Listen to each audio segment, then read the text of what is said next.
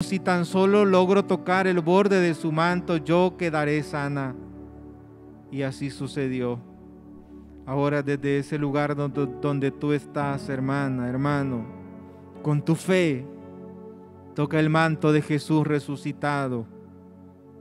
Y di lo mismo que esa mujer, yo quedaré sano, yo quedaré sana, porque Él ha venido para que tengamos vida en abundancia. Profesa, hermano, que Dios tiene poder. Hemos hablado a Dios, ahora Él nos habla a través de su palabra. Efesios capítulo 5, versículo del 8 al 9. Efesios 5, del 8 al 9. Vivan como hijos de la luz. Ahora bien, el fruto de la luz es la bondad, la justicia y la verdad. Hermanos, busquemos siempre lo que es bueno, lo que es justo y verdadero ante la mirada de Dios. Dios siempre te ve. Dios siempre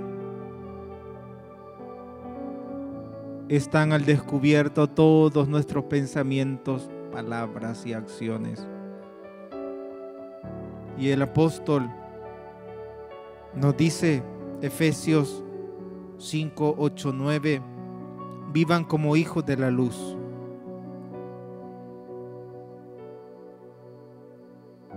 También la palabra de Dios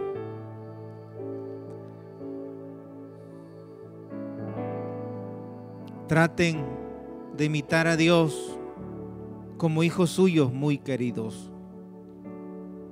Vivan en el amor a ejemplo de Cristo.